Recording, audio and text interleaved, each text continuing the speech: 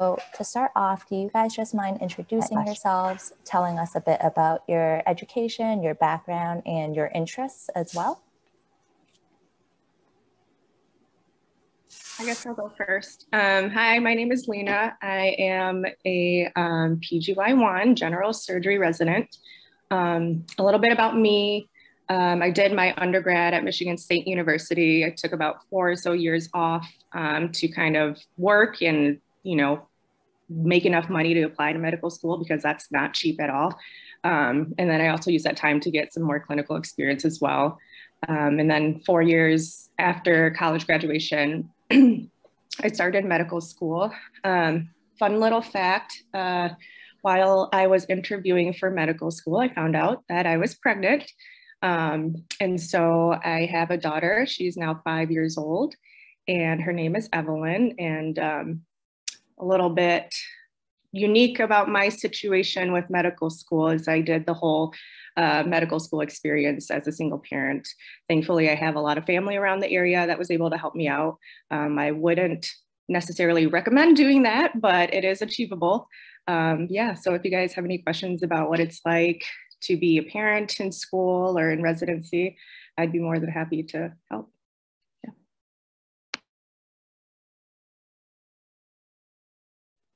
Hi, I can go next. Um, I'm Dr. Erin Tamura, um, and I'm a family medicine physician, uh, re recently relocated to Columbus, Ohio. I work at an FQHC here.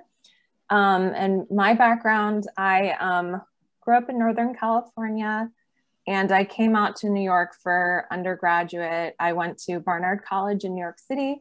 And then for medical school, I went to Albert Einstein College of Medicine. Um, I took a year off in between med school and undergrad and did some research with the um, Psychiatric Institute. I was a neuroscience major.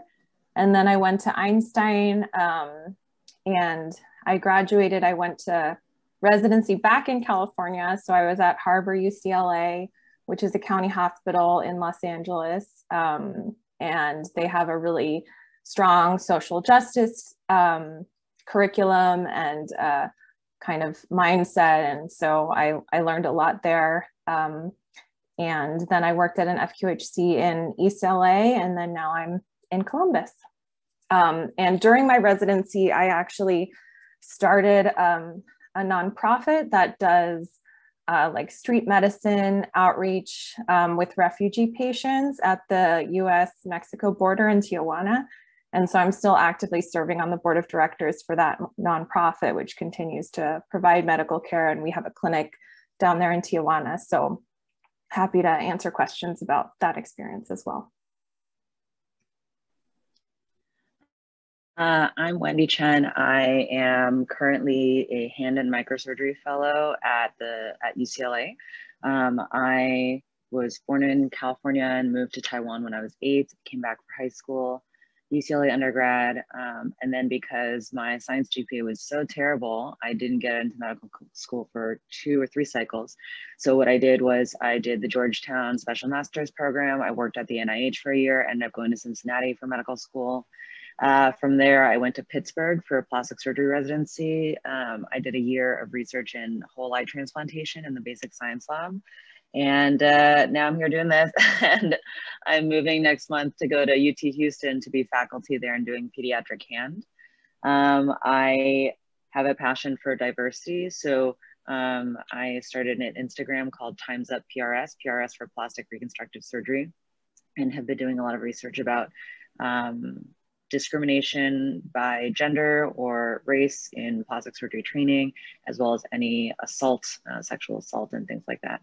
Um, so, yeah, happy to talk to you guys. Thank you for those introductions. It seems like you guys have all done so much in your respective fields. Um, kind of the same format as the panel before. If you have any questions, please, you can unmute yourself or you can send it in the chat or you can privately message me if you want me to voice a question for you guys. So just opening it up to the floor if anyone has any questions at all.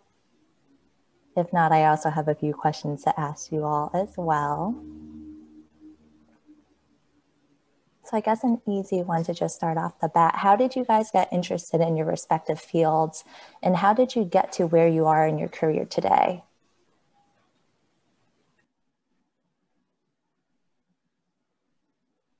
Um, I can uh, start off if that's okay. Um, so I I went to medical school, um, kind of having had some clinical experience volunteering at federally qualified health centers and specifically a maternity clinic and kind of working with a lot of immigrant patients and people who didn't have insurance or only had insurance because they were pregnant. Um, and so that kind of instilled in me a passion for primary care and, um, you know, working with people who have trouble accessing the healthcare system, whether because of, you know, lack of insurance or underinsurance or stigma. Um, and so I kind of went into medical school thinking I wanted to do primary care. I have a lot of passion for women's health. So I was really thinking about OB-GYN as well. Um, and I basically loved every rotation that I did, which is something you commonly hear amongst people who go into family medicine. Um, but I also kind of had the knowledge from the get go that, you know, I really wanted to be a doctor in the clinic in the outpatient setting focusing on people um, and primary care. And I wanted to specifically bring that up too, because I know, especially kind of listening to the end of the, um, the uh, panel previously, you know, there was some talk about make sure you're happy in your work, uh, which I totally agree with. Um, but I also want to emphasize that the medical education system that we have really focuses a lot on inpatient and specialist care. And that's just kind of the nature of how we learn medicine in this country. But the real reality is that the majority of physicians who graduate are going to wind up spending the majority of their time in outpatient clinics, whether it's a specialty clinic or primary care. Um, so it's kind of a disservice to trainees that we don't spend more time in clinics. Um, and the majority of family medicine and internal medicine grads are actually going to be outpatient primary care physicians because that's really what our healthcare system needs. Um, and so, you know, that's an important thing to consider. I think another issue is that when you're in residency and medical school, you don't really get that continuity of care experience. I remember feeling like clinic days were like really stressful and not fun as a trainee. And so it's okay to have that experience. Um, just know that it is different when you're out in the world um, clinic is still overwhelming and stressful some days, but it's also really rewarding. And I feel like in training, you don't get the rewarding aspects of that um, kind of practice setting. So just kind of a caveat and a plug for primary care. Um, but yeah, I I felt like I was drawn to primary care because of my personal mission and the reason I went into medicine to begin with. I felt like that's what was needed in you know this country and my community um, and i felt like they need really good doctors in primary care um, going into family medicine um, i got a lot of kind of feedback of like oh you're too good for family medicine or you know you really should do something else and i think that's something that trainees hear often um, I feel like outside of the medical education and training world, there isn't that same sentiment that family medicine is the easy way out um, because it's really hard to do primary care full time. So, um, yeah, just a caveat about that stuff and a little bit of a plug. Yeah, primary care is so important. It is. And I commend you for doing it because I tried really hard and it just it just was not for me. um, yeah, I, I also did not have like the strongest science GPA when I was applying to medical school as well. So the year before I started, um, I also did a post-bac program and that happened to be the year that I was um, having my daughter. So um, it kind of was like a nice way for me to get my feet wet in medical school. Um, I don't know if I mentioned, but I went to Michigan State College of Human Medicine for medical school. Um, and I came in thinking that I also wanted to do primary care. And I knew I kind of like um, took a liking to procedures. So I thought, you know, OB-GYN is a really good field because you get both that primary care aspect, plus you have procedures involved as well. and I really was like fascinated with women's health and passionate about women's health. Um, and my first rotation, third year in medical school was surgery. And I was like, wow, I really like this like more than I thought. And I was trying to like tell myself like to convince myself not to like surgery. I re- really tried very hard not to like surgery because, you know, with me being a single parent, um, I knew that like residency, going through a surgical residency was going to be very hard and it's going to um, not allow me as much time to spend with my daughter. Um, so I continued doing my clinical rotations throughout third and fourth year. And I just realized, you know, like nothing got me as excited about um, waking up and going to work aside from like the days that I get to be in the OR or, um, yeah, the days that I get to talk to um, surgical patients about their procedures and follow up and stuff like that. Um, so as much as I tried to like anything else more than surgery, I just could not. So that's kind of how I found my way there. And I just realized that I really liked abdominal surgery. Um, people were like, you know, you could, you know, do internal medicine, go into cardiology, and you can do procedures in cardiology, yada, yada. And I was like, you know, I just realized if I can't like physically hold organs, I'm just like not, I'm just not as excited about it. Um, so that's kind of how I found my way to surgery. It wasn't easy. I had a lot of people telling me because of the fact that one, I'm a woman, and two, even more so because I'm a single parent, that um, I wouldn't be able to do it. Um, even at my home-based institution, my the program director there absolutely loved me during my rotation on surgical oncology with him, and he's not an easy man to please, but as soon as he found out that I was a single parent, it was like his whole attitude shifted. Um, so you definitely still get that mentality from people that you know you won't be able to do this you won't be able to do that and i think you just really have to know yourself well enough to know whether or not that is something that is achievable for you um, and not to let people who you know aren't there to help you through the process to falter or influence your um, an opinion about yourself in any way? Yeah, I think it's uh, hard to be brave, but I feel like when you meet the challenge, uh, it, I feel like inevitably we end up doing it. And what's the worst thing that could happen is like you're a PGY one, two, three, whatever, and you're like, oh, I can't do this, and then you choose something else, but at least you tried, or like you can do it. You know, there's no reason why you shouldn't pursue your plan A um, all the time. Um, and there's no good time in surgery to have a baby. And actually, people who have them earlier, it's actually better. Um, I'll be honest, I'm thinking about becoming a single mother by choice at age 37 right now. And I'm worried because as an attending, you have less uh, protection from having time off. Um, uh, and so, you know, I may have more resources coming up, but uh, it's not gonna be easy either. So there's no there's no good time. The, but if anybody is wondering, I've asked dozens and dozens of women and men and parents and families and single parents, and I know other single mothers by choice. And in the surgery life, there's no good time. So you should just do it and then figure it out. And you know, people will work with you, or or you'll find a way. You know, it's not easy, but um, you shouldn't have to give up a very important part of your life to service this other, you know, community, this this surgery community. Um, so uh, I, again, I'm Wendy. I'm going to be a pediatric hand surgeon in uh, Houston. And um, when I first got interested in medicine is when I was living in Taiwan. And when I was going to high school in Taiwan, I volunteered at an orphanage for children who are abandoned for congenital uh, anomalies, whether it be dwarfism or cerebral palsy or things like that. Um, and that was sort of like a saving face thing uh, in an Asian community. And so I thought to myself, oh, was it? And, and some of them had just like clefts, like cleft palates, cleft lips. And I thought, oh, that was the difference between, between them having a family to grow up with versus not is something that maybe could be medically treated. And so then I gravitated towards sort of treatment of children. And then at UCLA, I minored in public health and I worked in the community in that regard. Um, and then I got, when I got to medical school, I was not really necessarily thinking surgery because I thought in, in, my head plastic surgery was all these things that you see in the media. I didn't understand.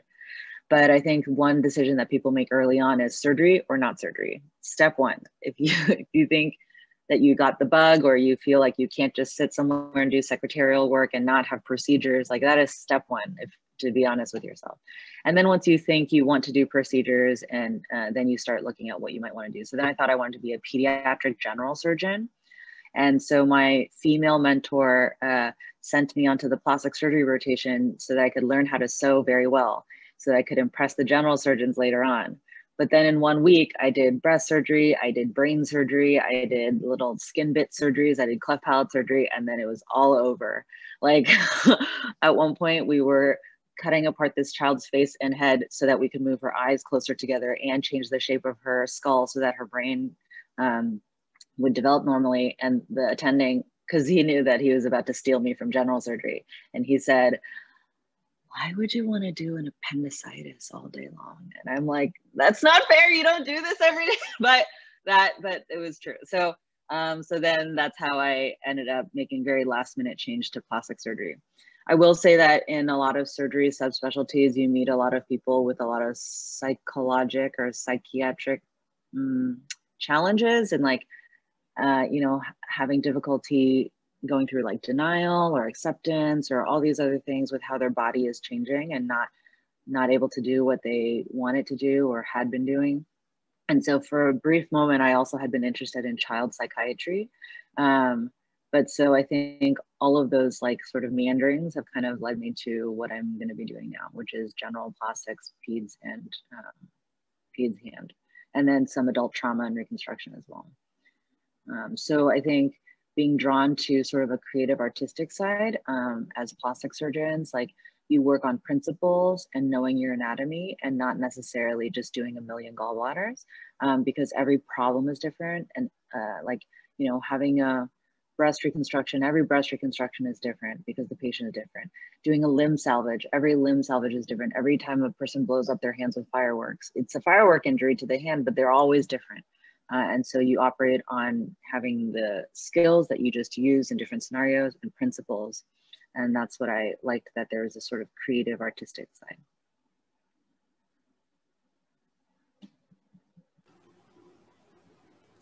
Thank you for sharing that. And I know a few you guys mentioned like obstacles you've had to overcome um, based on being a woman in medicine. And do you guys have any advice or strategies to help people become more resilient going into medicine as as a future woman physician myself, I'd be interested in hearing if you're willing to share about those obstacles or if you've encountered any obstacles due to your ethnicity as well, if that's been an issue you've encountered. I mean, I think um, the other panelists kind of brought up some things which are similarly alluding to the same thing, but don't, you know, you're going to face a lot of um, kind of restrictions or barriers from the outside world, regardless of whether you're a woman or Asian or not. But it's really important to not put, try not to put too many barriers on yourself. Um, like it was said, it's never a good time to have kids, but a lot of us are gonna have them at some point um, or you know may want that in your life. And so don't put your own barriers on top of what other people are telling you. Um, and i think that's something that as women we're particularly good at doing is is telling you know putting ourselves telling ourselves based on these perceived um, kind of restrictions that we shouldn't do something now or we can't do it right now or you know maybe we're not worthy of, of this particular path. And so it's really important to surround yourself with people who can really support you and talk you up and kind of be your cheerleaders and remind you like hey that's you telling yourself you can't do that. That's not anybody else. Um, and i think it's it's just important to remind yourself that that um, you know you can do things. You should choose your plan a and you should stick to it um, if that's what you really feel is right for you. And if you wind up changing your path and it winds up not being the right thing, that's okay too. Um, everyone has kind of their own path and it doesn't need to be the same as what's perceived as like the successful or the right way to do things. So um, that's just kind of general, I think. I think it's also, I'm of, at least for me, helpful to find somebody who kind of like resembles you um, as a mentor, like either whether that be a woman or a person of color, um, and just to you know make sure it's somebody who is like going to be in your corner. Like if they're telling you, you know, I don't know if you know you'll be able to do this or that. Um, if they have like any like reservations or they don't believe in you in terms of like what you want to pursue for your goals, then it's like it's just bye like on to the next person.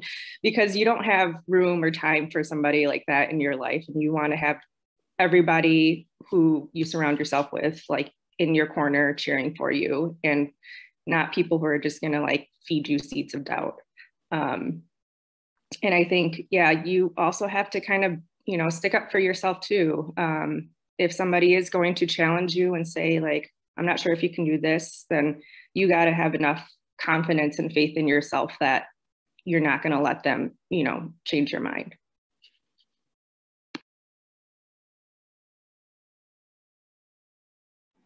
I would say that um, it's important to have the insight that um, you may not be your best ally. You can gaslight yourself just because somebody is gender or race congruent to you, they can also gaslight you or not be your best ally, um, whether on purpose or not. That's for yourself to yourself and for other people to you. And so um, I think it's important to sort of it's it's almost like therapy where like in the media or whatever it is you have some source of reality checks where like this is not right. If this happens to me, that's not right. Or if somebody says this to me, that's not right. I don't have to just laugh awkwardly and like be okay with it. Um, and like you may not be in a position to say anything about it yet until you're a chief resident or or whatever it is, but at least in your mind know that something is or is not right.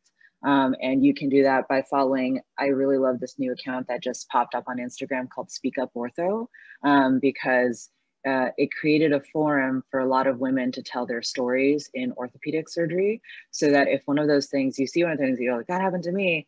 Okay so that's that's not right. Like i shouldn't just accept that. Like i i shouldn't just put my head down and you know um, just like these reality checks. And then I think virtually now in this last year has exploded a lot of easy ways to just stay connected with people. So I also helped to found a group called Women of Color PRS, WOCPRS, and it's on Instagram.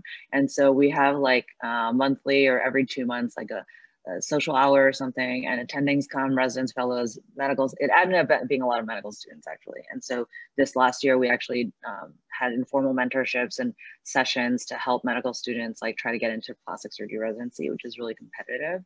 So um, similar to what other people have said but i think most importantly knowing your standard and knowing what's right what's wrong even if you can't say anything about it yet um, just know that you know, and then find somebody to talk to.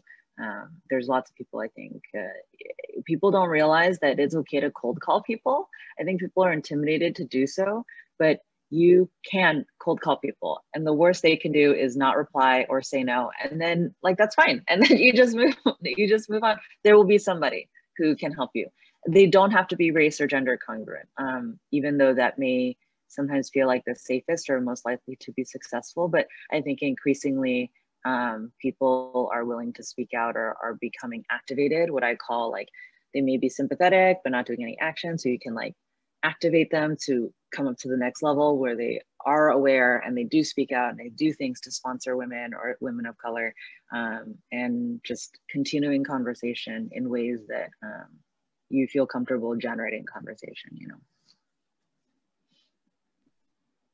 I just want to go off of um, what Dr. Chen said too. Um, like for me, my mentor was a white male, but he like did everything that he could possibly do, bending over backwards to help me get to where I was. So, yeah, it doesn't have to be somebody who looks just like you or represents you. But I think the most important thing is that it's somebody who is for you. Um, yeah and different mentors can do different purposes so mm-hmm. for that person because of his status and his demographic he may be able to do certain things better but right. then you may have some mentors that maybe maybe there's another mentor who was a single mom in general surgery and she can do something else for you know her. And so you have you can have different people helping you in different ways so that you can holistically do it, you know. Yes. Exactly. Oh, I will also say that I've noticed, um, at least with like my classmates and peers, that people will be like, oh, I reached out to this mentor. I sent them an email two months ago, but I didn't hear anything back. And they're just like very passive about mentorship um, and finding that. And you really have to kind of be more aggressive with it because I mean, as you imagine, attendings are super busy and it's not like they intentionally want to ignore you. At least I feel like most of them don't, but they get how many emails a day and they might not have seen it. So you really do have to like be a little bit more aggressive with pursuing. I mean, don't like send them an email every single day, but you know, if you have a mentor that you find and you're like, oh, I really like this person, and you're waiting for them to reach out to you for the next meeting, that most likely is not going to happen. You need to be the one to like check in and keep up because they have a million other things to do, and you, no offense, are not their top priority. Yeah, I would I would echo that. Um, I do a lot of work with students and trainees at different levels in the healthcare field um, through the nonprofit that I work with, the Refugee Health Alliance. And I frequently tell people, like, you know what, can you just email me back in like a week or two when things are calmed down and I'll respond? And, you know, don't feel bad doing that. Um, and especially if you're the kind of person who will actually show up and be proactive and create a project for yourself or identify a need based on like what you're seeing and kind of present that as a potential area where you think you might be able to participate like that's amazing because that cuts my work in half um, and you may be wrong and i may be like you know what i don't think that would be helpful right now but you know that tells me you're willing to help and i may have this other thing that we could really use some help with. So um, yeah i think be proactive be thoughtful. You have a lot of experience and intelligence and expertise at you know at different things in life and you can always bring something to the table. And usually mentors are really looking for you know someone who's going to be proactive and who has a little bit of an idea of what they want to do and just needs a little bit of guidance about how to apply that energy. They don't want to have to kind of pull that energy out of you. Um, so you know if you can show them that you really are there to learn and do work i think that's the best the way to get the most out of a mentorship. And you can have multiple mentors as was stated. Doesn't have to be just one. It shouldn't be just one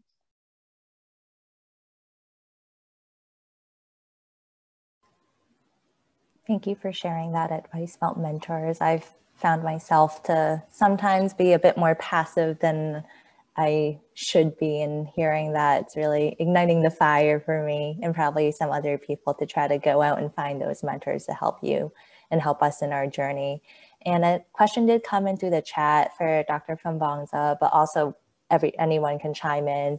Um, it stated, I too had my child first year of medical school. He's three years old. I'm applying for residency this cycle and was told you need to apply broadly to match well.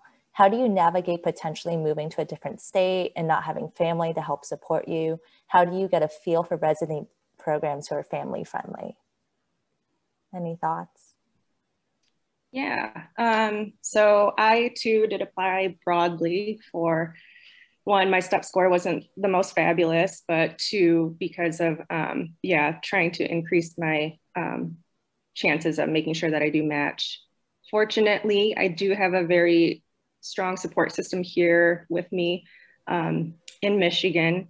So I did apply to like mostly Michigan programs and then um, in some other places that I uh, would like to end up. Um, my family, at, to some extent, was willing to move with me depending on where I ended up for residency if it wasn't going to be in Michigan. So I was very fortunate with that too.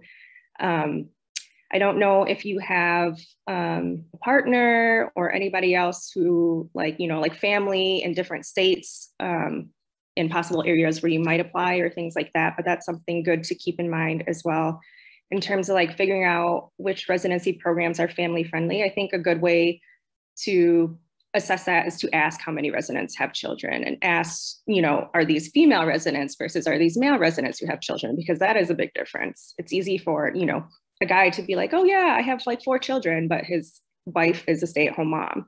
Um, we don't have that luxury as women just because most times we do function as like, you know, that support system at home as well as um, work.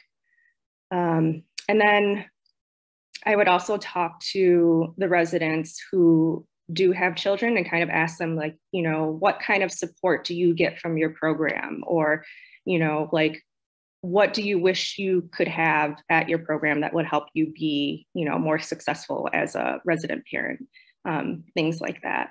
Um, and then um, at least here in the Midwest, I know like Midwest people like to keep Midwest people or programs um, tend to consider Midwest applicants a little bit more seriously for some reason. Um, so applying like geographically in your area um, is a good way to kind of be like, you know, I'm very serious about these programs here for XYZ. And then also, you know, a big thing for me is I have, you know, closer family support.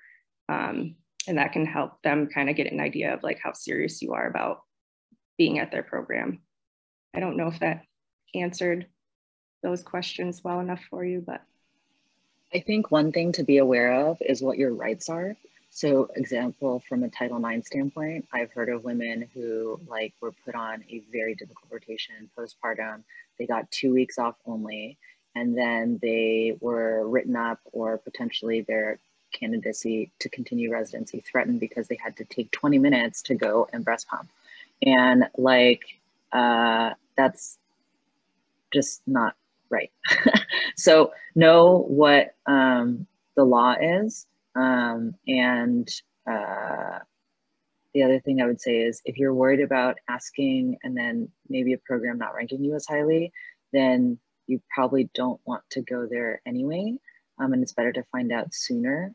Um, when you have fewer choices, I know that's a little harder. So kind of just temper that, like, uh, you know, on the spectrum of how you want to manage that fact. But I think it's okay to be authentic because um, you don't want to end up miserable somewhere for, I mean, like three years is not so bad, but like if it's seven years, then, you know, that's like sometimes longer than a lot of relationships. So.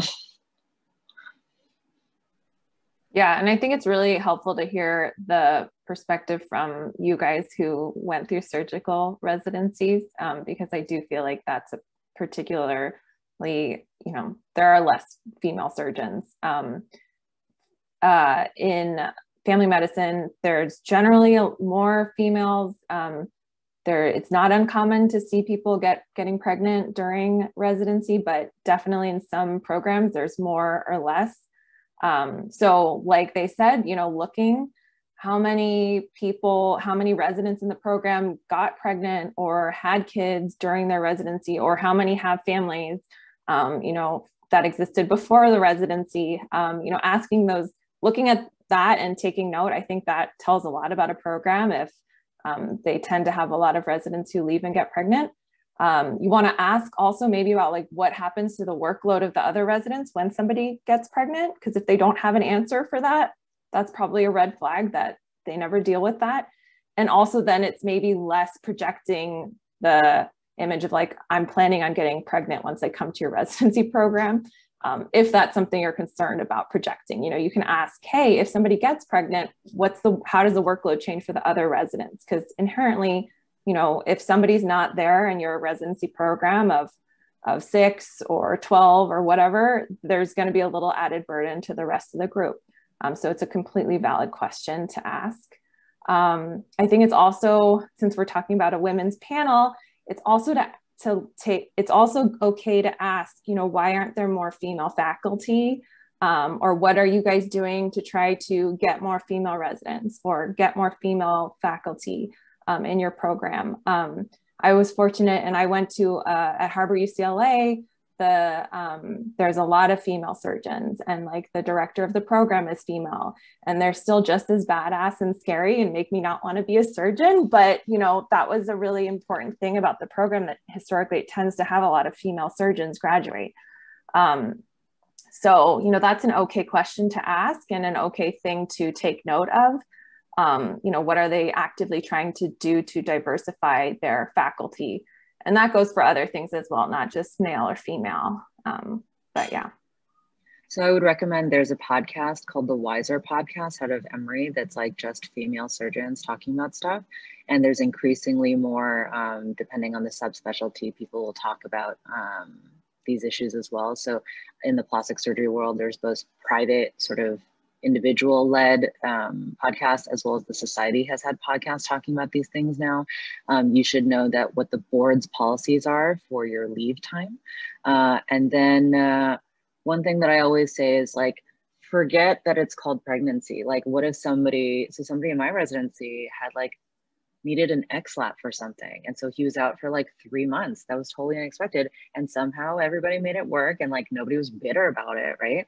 Or like if you need to leave the operating room to pump for like 15, 20 minutes, um, like if you had diarrhea, you know, like nobody would be like, no, you need to stay. And if you like leave, then don't come back to my OR again. Like, but somehow when you're pumping your breast, it's like different. Like, and these are all doctors, you know, so eh, why, why, why cannot they understand like you know, we're coming. Women are coming. Like there's a study out of Michigan saying that women surgeons, based on the severity of the patients and the experience of the surgeon, the outcomes are better when the when the doctors are women.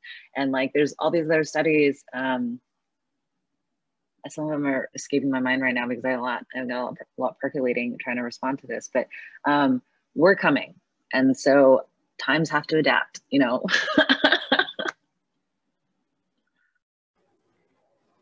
Okay, and just for our last question, um, Karen messaged in asking, how do you reconcile your work um, life balance with career opportunities? So I think that's really hard, and I don't know that anybody has that figured out. But I think one of my favorite analogies that has helped me um, prioritize and be kinder to myself um, is the concept of like juggling balls. And um, some of the balls are going to be glass balls some of the glass some of the balls are going to be rubber balls. You're going to drop balls okay? Just accept it. Like you just can't it's not it, you cannot. So um, if you're going to drop balls then obviously you want to some like then prefer that they be rubber balls right? So maybe not like your sister's wedding or like um, those would be glass balls. Or like if your child has something very important that would be a glass ball right? But rubber balls would be like you know i don't know a research meeting or i don't know right? Like so adding two more patients onto clinic. So you you're going to drop balls and just know that and just try to prioritize and it is super okay to say no. Like when you know when people say when you say yes to say something you're saying no to something else. Like your most valuable valuable valuable thing is time and time is something that is non-refundable. You can never get it back. Once it passes it is gone. And so to remember that that no matter how much you like medicine or surgery like no matter if you became the society national president board whatever like when you have a 13 year old slam that door in your face one day and you flash back all these choices that you've made in life what's going to be the one that's worth it? You know is your is the chair of such and such going to be there at dinner when like things are not good at home? Like no i think that or like if you didn't do the things that you want to do in life like at your on your deathbed like none of those people are going to be there. It doesn't matter that you did like 10 more super rare most amazing surgeries you know um, so I think keeping a perspective as to what's important to you in life, because I find that there's some surgeons in the older generation where their entire identity has completely been pathologically wrapped up in their identity as a surgeon. And once they lose that, they like don't even know what to do with themselves. They don't know what to do with themselves when they go home. Like they don't have anything to talk to with their wives or you know their kids or whatever. And like that's not how I would define my happiness. So everybody defines happiness in different ways. If you don't know how you define your happiness, it's a really great exercise to to understand both the little everyday things and the bigger big picture things of what really matters. Um, I can say like as time gets on and you're in your late 30s, early 40s, time passes differently, and and um, you know some things start getting more urgent. and some things maybe in retrospect you're like i'm glad i did spend that time that way or i wish i had done something differently so Um, yeah, and going off of that too, I think we also need to do a better job of like reminding ourselves to give ourselves grace. Um, I'm sure most of us being in medicine, like there's a million things that we want to achieve, and we realistically, because time is finite, can't achieve all those things. Um, I know, at least for me personally, I would kind of beat myself up about like, I can't, you know, like not being able to stay in the anatomy lab an extra two hours because I have to go pick up my daughter from daycare, um, things like that. And being like, oh, I can't, you know, I'm not going to be able to get as high of a score as like other people in my class because I don't have the same time constrictions as they do. Um, and just like reminding yourself that it's okay not to be 100% all the time or be, I mean, I don't know how your guys' parents were growing up, but um, stereotypically Asian parents, you know, asking you, you got a 95%, why don't you get 100? Um, and that like reflecting on yourself and like that has become your standard for yourself. I have to like remind myself to like quiet my mom's voice in my head sometimes um, and be a little bit kinder to yourself. um, yeah, and then yeah, just I think one thing that's really helped me throughout the years is saying no more often than saying yes. Um, like if people ask me to do things, I will always say, I will get back to you on that and not saying yes right in the moment because in the moment I tend to want to do things, but I gotta like reality check with myself. Like let me wait on this decision to make sure that I actually have time to do these things. Um, so like my default for myself when people are asking me of extra responsibilities and whatnot is no. And then I can always go back and say, yes, I can do this versus vice versa. And then adding all that extra pressure on yourself.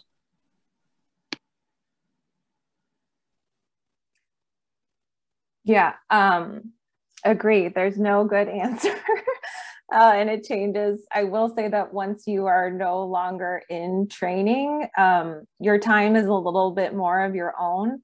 Um, so it's it's really hard in residency to find that balance, and the techniques used in residency and medical school to have a work life balance may be really different from the techniques that you use later on your career. And that also may change as your career changes or your life changes. Um, so you know just kind of being adaptable. But i think the important thing is being self-reflective uh, about you know is this something i enjoy doing? What am i getting out of this? Um, because that's important. Um, and sometimes we do get into the mindset of just doing things for the sake of doing them or because this is what other people are doing or this is what you think you need to do. Um, and really reflecting on is this bringing me joy? Is this making me happy? Um, and if not do i need to be doing it um, because yeah your time is limited. You only have so much mental space and emotional capacity and you should spend it doing the things that fill you up um, as opposed to you know draining you. Um, so yeah that's what i just try to do and kind of be self-reflective about is do i you know am i dreading doing this thing?